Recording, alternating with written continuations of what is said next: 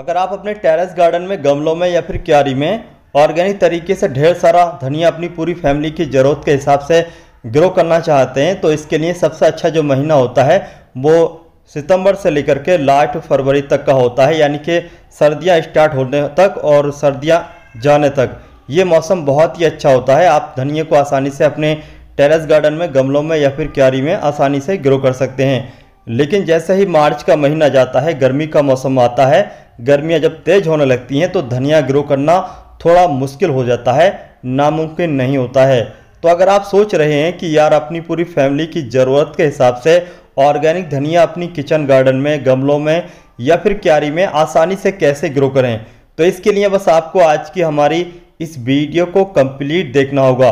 क्योंकि आज की इस वीडियो में हम आपको ऑर्गेनिक धनिया गर्मी के मौसम में आसानी से कैसे ग्रो करें, इसके बारे में पूरी अपडेट के साथ जानकारी देने जा रहे हैं। धनिया के बीज को लगाने से लेकर धनिया हार्वेस्ट करने तक। इसके अलावा आज की इस वीडियो में आपको धनिया दो बार हार्वेस्ट करके दिखाएँगे।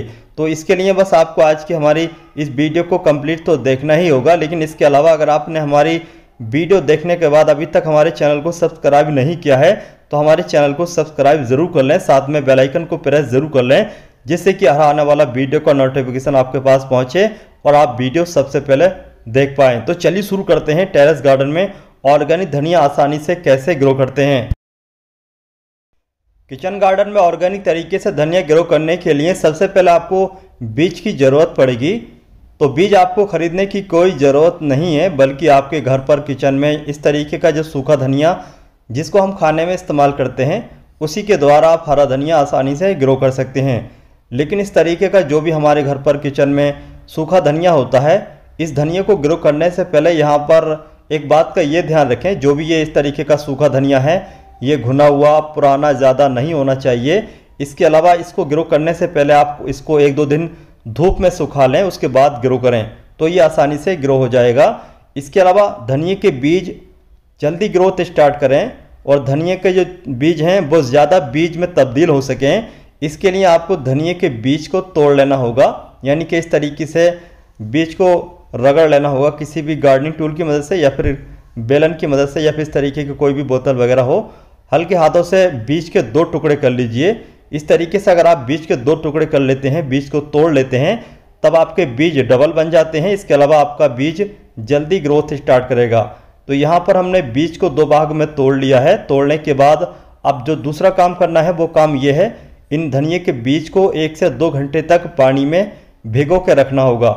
पानी में भिगो के रखने से आपके जो बीज की जर्मिनेशन है वो जल्दी स्टार्ट होती है। इसके अलावा बीज का जर्मिनेशन रेट भी अच्छा आता है। तो अगर आप चाहते हैं कि आपके बीज ज़्यादा से ज़्यादा ग्रो हो तो इसके लिए आप पानी में धनिए के बीज को एक घंटे के लिए भिगोने के, के बाद लगाएँ। ऑर्गेनिक तरीके से धनिया ग्रो करने के लिए अब बारी आती है गमले की गहराई कितना होना चाहिए। तो धनिया ग्रो करने के लिए कम से कम चार से छः इंच का गहराई वाला कोई भी गमला इस्तेमाल कर सकते हैं। इससे बड़ा गमला अगर है आपके पास तो और भी अच्छी बात है, लेकिन जो भी गमला ले रहे हैं उसके बॉटम साइड में एक से ज़्यादा ड्रेनेज हॉल होना चाहिए, जिससे कि एक्स्ट्रा पानी आसानी से बाहर निकलता रहे। पानी का ड्रेनेज सिस्टम अच्छा होना चाहिए, तभी आपका जो धनिया है वो ग्रो होगा। ड्रेनेज सिस्टम अच्छा नहीं होगा तो आपका जो धनिया में पानी रुकेगा तो इससे धनिया की जो रूट्स हैं वो गल जाएँगी। धनिया थोड़ा बड़ा होने के बाद धनिया खराब हो सकता है। इसके अलावा इस तरीके के हॉल जो आपने किए हैं, ये हॉल आप किसी भी कंकड़ पत्थर से या फिर इस तरीके के टूटे हुए गमले के टुकड़ों से इनको कवर कर लें, जिससे कि जो आपका सॉइल मीडिया है, मिट्टी वगैरह, वो इन हॉल के द्वारा पानी देने के बाद बाहर ना बह जाए। अब बात करेंगे धनिया ग्रो करने के लिए मिट्टी किस तरीके की तैयार करना चाहिए। तो जैसे कि आप लोग जानते हैं गर्मी का मौसम है तो गर्मी के मौसम में ऐसा सॉइल मीडिया होना चाहिए, जिसके अंदर पानी काफ़ी समय तक होल्ड रह सके। तो इसके लिए सबसे अच्छा जो सॉइल मीडिया होता है, वो होता है कोकोपीट तो कोकोपीट आपको लेना है, इसके अलावा उसमें आपको 30 परसेंट बर्मी कंपोस्ट 30 परसेंट रिवर सैंड और बाकी का आपको 40 परसेंट कोकोपीट तीनों अच्छे तरीके से मिक्स कर लीजिए और मिक्स करने के बाद इस तरीके से गमले में या फिर जो भी आप क्यारी वगैरह में लगा रहे हैं, उसमें भर लीजिए। सॉइल मीडिया को गमले में या फिर क्यारी में इस तरीके से भरने के बाद अब बारी आती है बीज को लगाने की। लेकिन बीज को लगाने से पहले आप जो भी आपका सॉइल मीडिया है, उसको अच्छे तरीके से गीला कर लीजिए, अच्छे तरीके से उसमें पानी दे दीजिए जैसे कि बाद में बीज लगाने के बाद बीज अपनी जगह से हटने ना पाए। तो यहाँ पर हमने इस कोकोपीट वाला जो सॉइल मीडिया है, इसको अच्छे तरीके से गीला कर लिया है। अब एक घंटा हो चुका है, एक घंटे के बाद जैसे कि यहाँ पर आप लोग देख सकते हैं, हमने जो ये धनिए के बीज गिलास में भिगो कर रखे थे, अब इनकी बारी है लगाने की। तो इस तरीके से हम जगह जगह बीज को छिड़कने के बाद लगा रहे हैं। ध्यान यहाँ पर एक बात का ये रखना है, बीज ज़्यादा करीब नहीं होना चाहिए। अगर बीज पास पास होंगे, ज़्यादा करीब होंगे, ज़्यादा घने होंगे तो जो पौधे उगेंगे वो अनहेल्थी होंगे और आपका जो धनिए के पौधे हैं वो अच्छे तरीके से ग्रोथ नहीं कर पाएँगे, ज़्यादा घना होने की वजह से। बीज लगाने के बाद वापस जो आपने सॉइल मीडिया लिया है उससे, या फिर डायरेक्ट जो कोकोपीट होता है तो उससे आप इन बीज को कवर कर दीजिए, ढक दीजिए। बीज को अच्छे तरीके से ढकने के बाद हल्का सा पानी देंगे और पानी देने के बाद धनिए की धनिए का जो ये गमला है या फिर जो भी क्यारी वगैरह आप इस्तेमाल कर रहे हैं, उसको ऐसी जगह पर रखेंगे जहाँ पर डायरेक्ट दोपहर की तेज़ धूप नहीं आती हो। बल्कि ऐसी जगह पर रखेंगे जहाँ पर सुबह की एक दो घंटे की धूप आती हो या फिर शाम की एक दो घंटे की धूप आती हो। गर्मी के मौसम में ग्रो करते समय इस बात का खास तौर से ध्यान रखना है। लेकिन अगर आप सर्दी के मौसम में ग्रो कर रहे हैं तो सर्दी के मौसम में तो आपको पूरा दिन की डायरेक्टली धूप में धनिए को रखना होगा, तभी अच्छी तरीके से ग्रोथ करेगा। इस प्लास्टिक की इंच की गहरी क्यारी में ऑर्गेनिक तरीके से धनिए को ग्रो किए हुए पूरे दस दिन का समय हो चुका है, दस दिन के बाद का ये रिज़ल्ट है। तो जैसे कि यहाँ पर आप लोग देख सकते हैं धनिए के जो बीज हमने लगाए थे, वो लगभग सत्तर परसेंट अच्छे तरीके से जर्मिनेशन स्टार्ट कर चुके हैं। ग्रोथ अभी ठीक ठाक चल रही है, लेकिन जैसे होनी चाहिए, वैसे ग्रोथ नहीं है। गर्मी की वजह से जगह जगह जो धनिए के पौधे थे, वो थोड़ा ख़राब हो रहे हैं। तो इसको हम ज़्यादा तेज़ वाली धूप से बचाएँगे और ऐसी जगह पर रखेंगे जहाँ पर धूप कम मिले। इस प्लास्टिक की क्यारी में ऑर्गेनिक तरीके से धनिया को गिरो किए हुए पूरे पंद्रह दिन का समय हो चुका है। पंद्रह दिन के बाद का यह रिज़ल्ट है। तो जैसे कि आप लोग देख सकते हैं, हमारा जो धनिया है, वो पहले से काफ़ी घना हो चुका है। बिल्कुल ग्रीन और हेल्थी है। धनिया की पत्तियाँ एकदम चमकदार हैं। धनिया की ग्रोथ बहुत ही अच्छे तरीके से चल रही है। तेज़ गर्मी होने की वजह से इसको हमने ग्रीन नेट के नीचे रखा हुआ है, जिससे कि डायरेक्ट इसको धूप से बचाया जा सके। और यहाँ पर मैं आपको बताना चाहता हूँ, जब भी आप धनिया को पानी दें तो आप किसी भी कोल्ड ड्रिंक की बेकार बोतल में पानी भरने के बाद एक साइड से इस तरीके से पानी दें, जैसे कि यहाँ पर हम आपको दिखा रहे हैं, पानी देते हुए। इस तरीके से जगह जगह से बोतल में पानी भरने के बाद पानी दें। बहुत सारे लोग क्या करते हैं कि सावर की मदद से वाटर कैन से पानी देते हैं। तो सावर की मदद से वाटर कैन की कैन से पानी देने से आपके जो धनिया के पौधे हैं, वो एक साइड में झुक जाते हैं। और धीरे धीरे जो पौधा झुक जाता है, वो गलना शुरू हो जाता है, ख़राब हो जाता है। इसलिए इस तरीके से पानी दें। वाटर कैन से सावर की मदद से पानी न दें।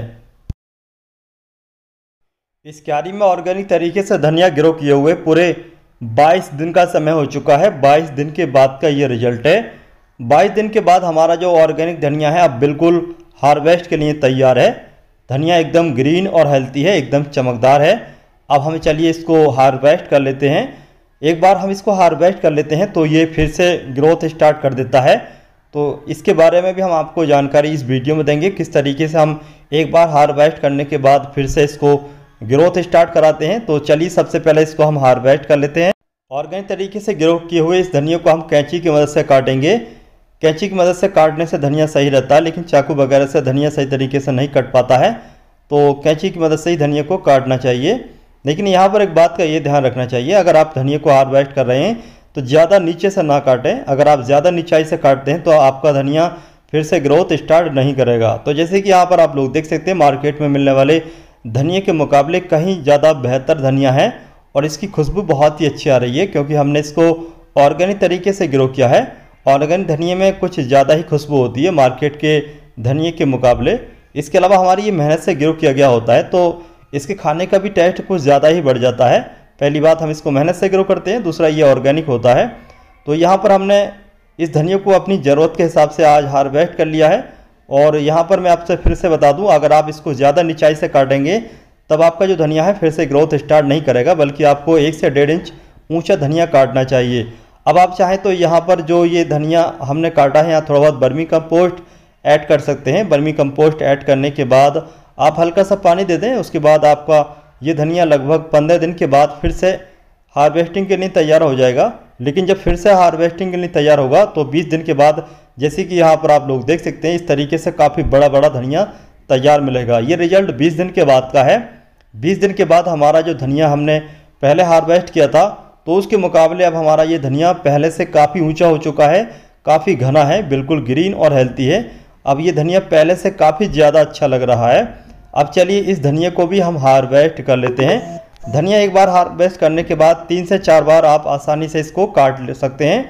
तो जैसे कि यहाँ पर आप लोग देख सकते हैं, जड़ से जो पौधे हैं, वो ज़्यादा ब्रांचेस निकाल चुके हैं, काफ़ी कल्ले निकल चुके हैं। और धनिए की आप ऊंचाई देख सकते हैं मेरे हाथ के हिसाब से तो ये कम से कम बारह से ज़्यादा ऊंचाई का धनिया है। आमतौर से इतनी छोटी क्यारी में इतना ऊँचा धनिया ग्रो नहीं हो पाता है तो ये कमाल है। सिर्फ़ ऑर्गेनिक ग्रो करने का। इसके अलावा जो हमारा सॉइल मीडिया है, वो भी बहुत सॉफ्ट है तो उसकी वजह से भी हमारा ये धनिया काफ़ी ऊँचा हुआ है। और यहाँ पर मैं आपको बताना चाहता हूँ, अगर आप धनिया को एक बार हार्वेस्ट कर लेते हैं, फिर हार्वेस्ट करते हैं, फिर हार्वेस्ट करते हैं, इस तरीके से तीन से चार बार जब भी हार्वेस्ट करेंगे आप तो उसमें बर्मी कंपोस्ट ज़रूर ऐड करते रहें, तभी आप इसको बार बार हार्वेस्ट कर सकते हैं। इसके अलावा धनिया अगर आप ऐसी जगह पर रख देंगे जैसे मौसम ख़राब हो रहा, बारिश का सीज़न है, तब इसको डायरेक्टली बारिश से बचाना होगा। अगर आप इसको डायरेक्टली आसमान के नीचे छोड़ देंगे, तब आपका जो धनिया है बार बार हार्वेस्ट करने को नहीं मिलेगा।